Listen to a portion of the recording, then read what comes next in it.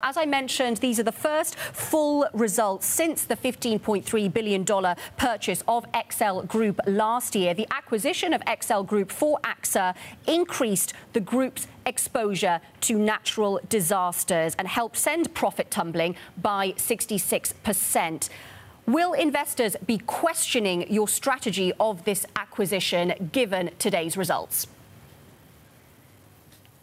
Good morning, and thank you very much. Um, it is true that uh, when you look at the operational performance, uh, and that's uh, the basis for the dividend, the operational performance has gone up by 6%, which is due to a very strong mix of growth and profitability.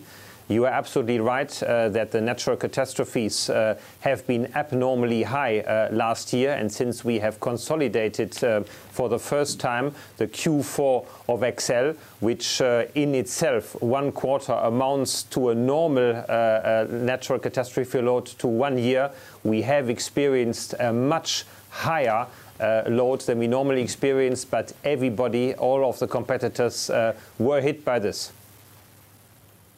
Uh, Thomas, good morning. Welcome to the show. Good to see you. So, okay, fine, you're down 66%, but isn't this more a case uh, in terms of that quarter's profits? But isn't this a case of we've just got to understand that you've bought more risk and that that is the very nature of AXA now? There are going to be more rough and tumble moments in earnings. You can't control natural disasters, and that's what I've got to understand when I own this stock.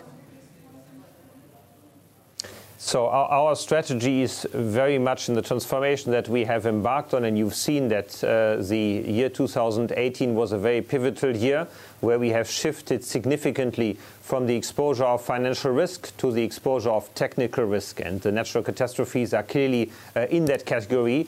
Uh, the financial risk uh, equally cause volatility, and if you look today, our sensitivity relative to financial risk versus natural catastrophes, the natural catastrophes overall are much less harmful on our solvency than a financial risk would be.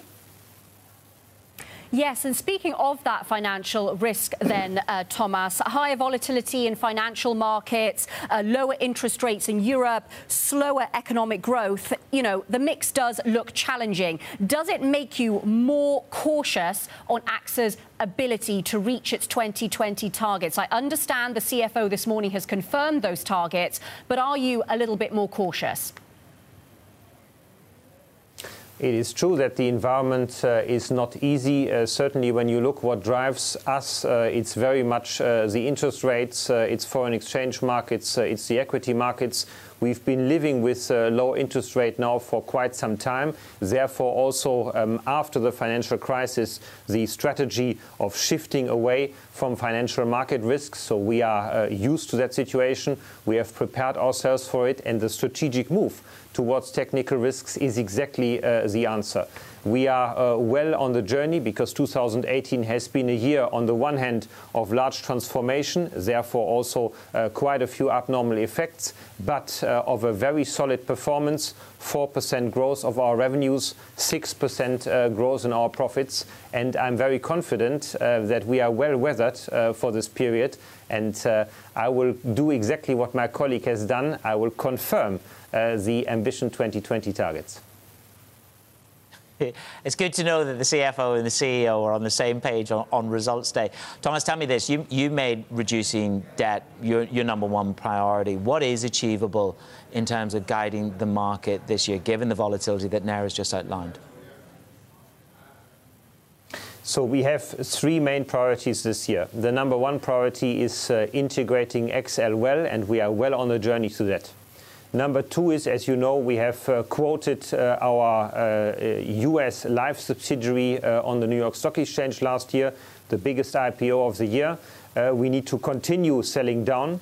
And thirdly is clearly the deleveraging. Our aim is to go to a corridor between 25 and 28% of debt ratio. This this is possible, and we have laid out clearly last year in November at our Investor Day how we are going to get there.